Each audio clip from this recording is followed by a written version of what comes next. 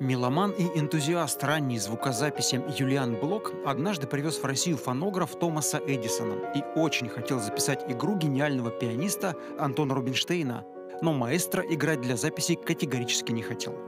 Если на него давили, то он получали обратный эффект, потому что концерт, сыгранный как концерт, без мысли о записи, запись его не передает это воздействие, а ловят какие-то мелкие, может быть, имеющиеся у всех недочеты. Если бы знал Рубинштейн, к какой революции в музыкальной индустрии это приведет, и как звукозапись в том числе сохранит и прославит музыку Антона Григорьевича на века.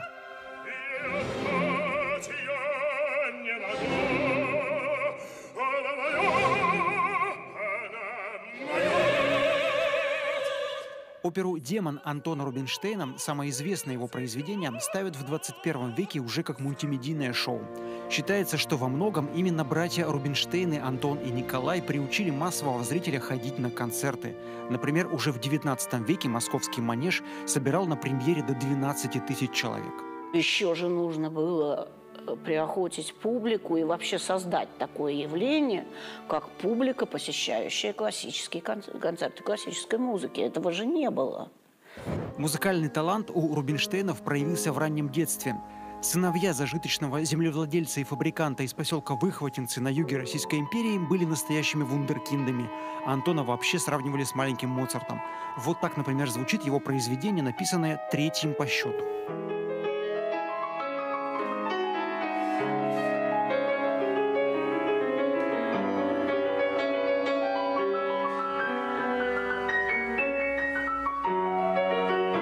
Уже в 7 лет Антон обучается у композитора Александра Вилуана и оказывается настолько одарен, что через год педагог берет его с собой в тур по Европе. Франция, Англия, Норвегия, Швеция, Германия, Австрия.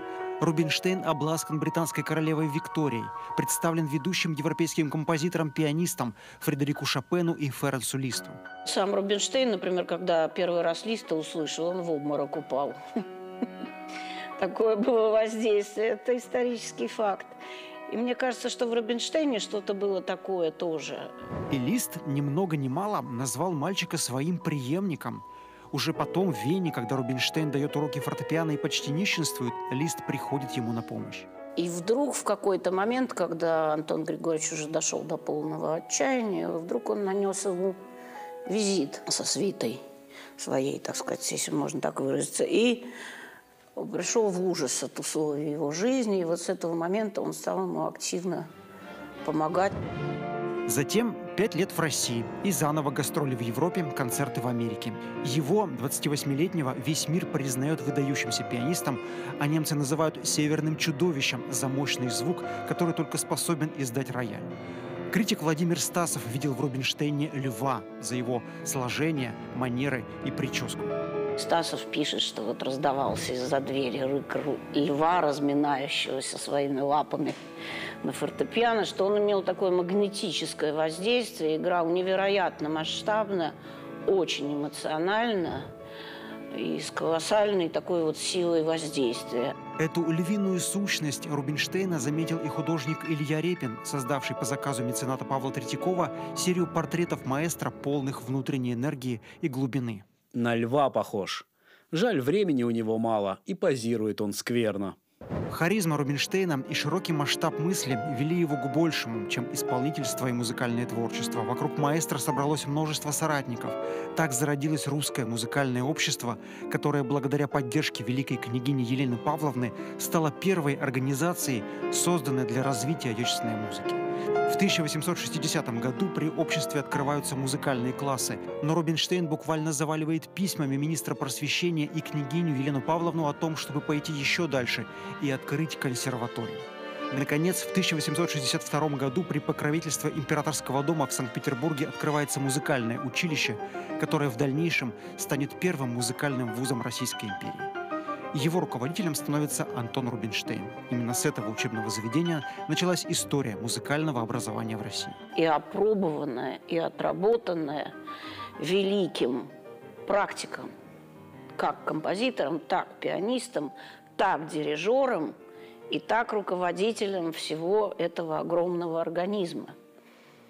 И все практические идеи его были реализованы, и жизнь показала, как это работает. Первым выпускником консерватории стал ученик Рубинштейна по классу композиции Петр Чайковский, закончивший ее с серебряной медалью. Именно Антон Григорьевич заставил его уйти с юридической службы и посвятить свою жизнь музыке.